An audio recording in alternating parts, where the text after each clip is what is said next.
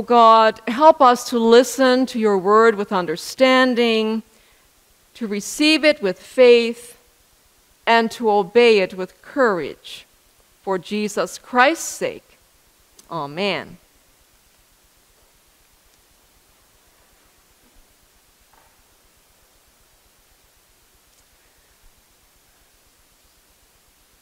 In Luke chapter 2, we hear the verse For he has looked with favor on the lowliness of his servant. Today we honor Mary because she was the mother of our Lord Jesus Christ, and because the Gospels testify that she was a virgin when she conceived and gave birth to the Son of God. One of the features of Luke's gospel is the prominence of women in the gospel story and the vital part they played in bringing our Lord Jesus Christ to us. Luke reveals in chapter 1 how the Lord chose two women for the beginning of the gospel. The song of Mary, which is so familiar to us, was spoken by Mary when she visited her cousin Elizabeth, who was bearing a child in her old age. Here we have two women, one elderly and one in her mid teens. Socially, they were far removed from each other as they were in age. One well established, married to a wealthy priest, the other engaged to a humble village carpenter. These two related physically were also related spiritually in a remarkable secret, which they shared for months before anyone else would come to know that one bore John the Baptist, the forerunner of Jesus, and the other bore the Son of God.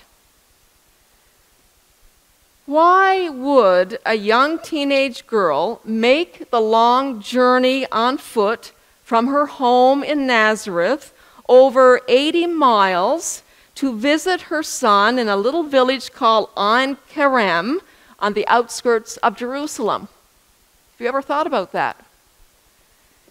Well, she went to see if it could possibly be true that her elderly cousin was with child that teenage girl was thinking over that incredible experience in which an angel came to her and told her, You are going to bear the Son of God. The angel said, If you want proof, your elderly cousin is bearing a child in her old age. And Mary had to go and see for herself if what the angel told her was true. In the moment when the two women see each other, Elizabeth was filled with the Holy Spirit. And she began to speak in a loud voice, not a quiet, small voice, but a loud cry of excitement. When we're excited, we tend to speak loudly, right? And so out came the most wonderful words. Up to this moment, Elizabeth had no idea what happened to Mary. But now, through the Holy Spirit, she understands what she had not known before. She is now prophesying when she says, Blessed are you among women, and blessed is the fruit of your womb the Jews understood for centuries the Old Testament prophecy that the Messiah, the promised one of God, was coming a Savior, a deliverer, someone who would fulfill the dreams of his people. Every Jewish girl had one ambition to be the mother of that Messiah. They knew that one day a Jewish girl would give birth to a Jewish boy who would be the Messiah, the Christ, the Son of God.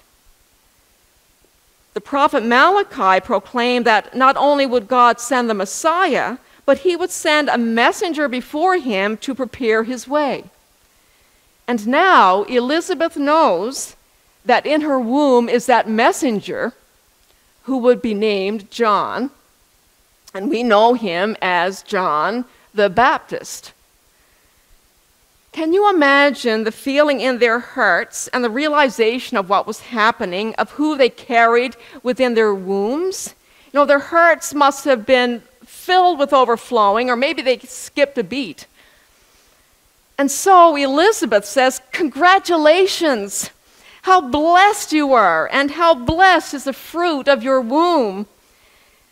Elizabeth is the first person to call Jesus Lord. She calls Mary the mother of my Lord. And so we carry great respect for her as the mother of our Lord Jesus.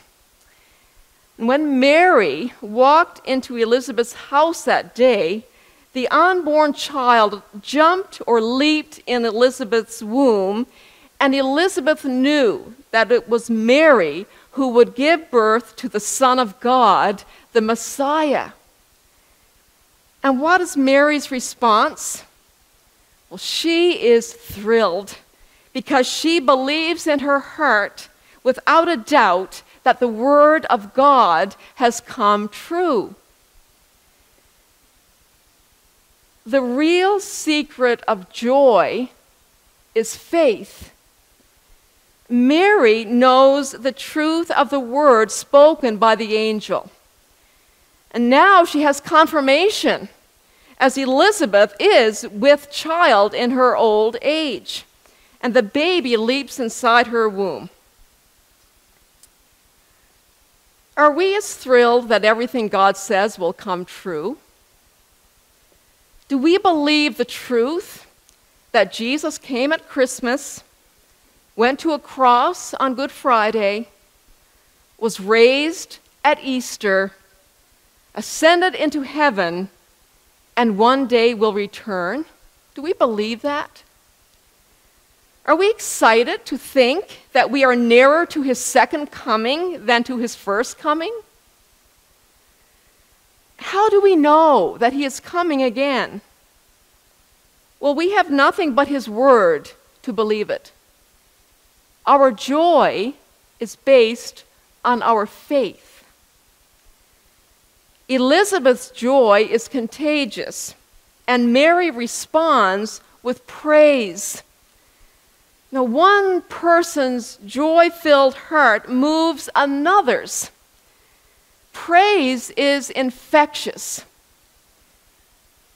As we think about that, you know, during this pandemic, no one wants to be infected by COVID 19 or any of its variants.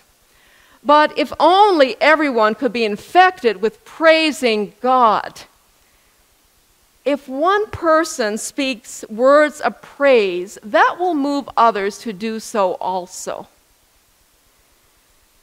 And now Mary is full to overflowing, and a song of praise flows out of her mouth, and we know it as the Magnificat.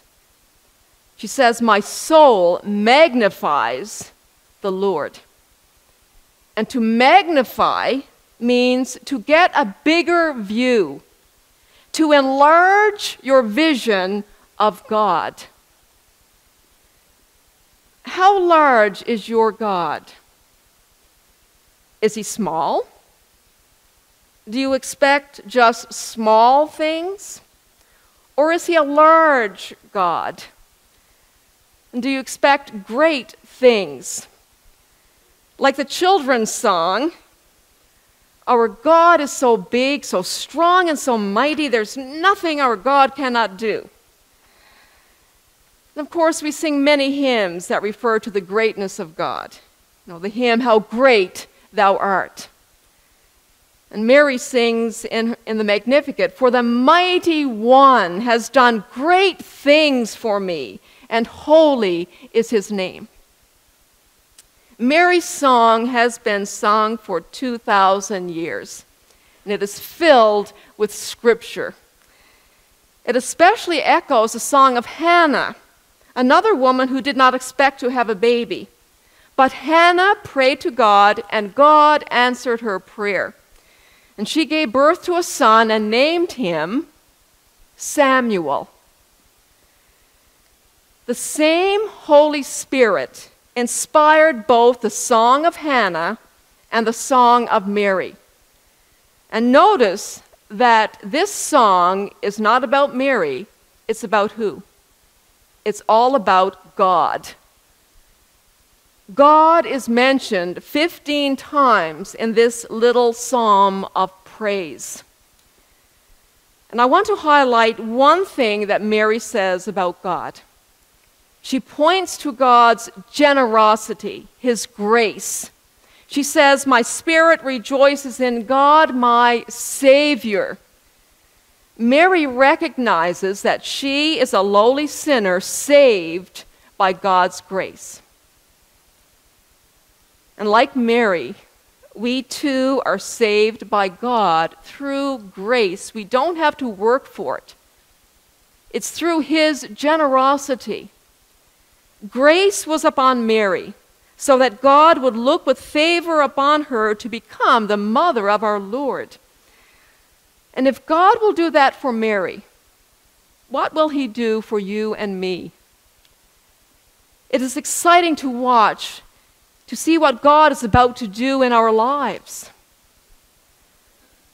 Mary remained with Elizabeth for three months and then returned to her home.